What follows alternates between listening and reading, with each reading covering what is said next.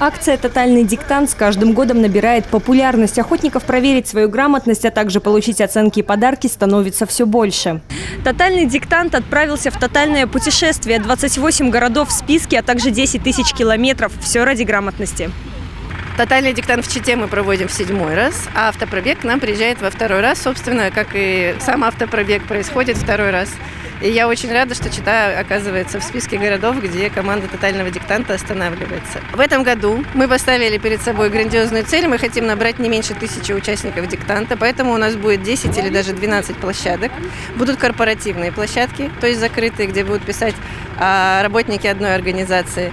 Мы, у нас будет площадка, где будут работать серебряные волонтеры. Это люди преклонного возраста, но с очень активной жизненной позицией. За 29 дней команда проекта проедет от Владивостока до Таллина. В городах по пути следования будут организованы стоянки на центральных площадках. Все желающие смогут познакомиться с командой и сделать фото на память. Организаторы приготовили множество подарков, которые можно получить, сделав фото в соцсети Инстаграм. В этом году к автопробегу присоединились писатели, которые будут создавать книгу о России и о тотальном путешествии. Необычность в том, что каждый отрезок закреплен за разными авторами. Естественно, будем обсуждать после того, как э, каждый проедет свой участок, и каждый составит какое-то представление о том, что он видел. Э, в голове э, у каждого какая-то структура своя родится. Может быть, это будет вот именно фишка книги именно в этом, что представление, четыре разных представления о четырех разных этапах. Мне очень интересно, чем один город отличается от другого. Вот. Я всегда приезжаю во Владивосток, Восток, я спрашиваю на своих лекциях, а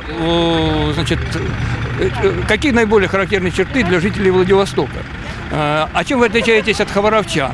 А, мне интересно, то есть города-соперники. Сегодня команда проекта провела встречи с участниками диктанта. Также были прочитаны тематические лекции о грамотности и русском языке. Уже 3 апреля откроется регистрация на площадке тотального диктанта, а 13 апреля каждый сможет проверить свою грамотность. Юлия Сидельникова, Владимир Николаев, ЗАП-ТВ.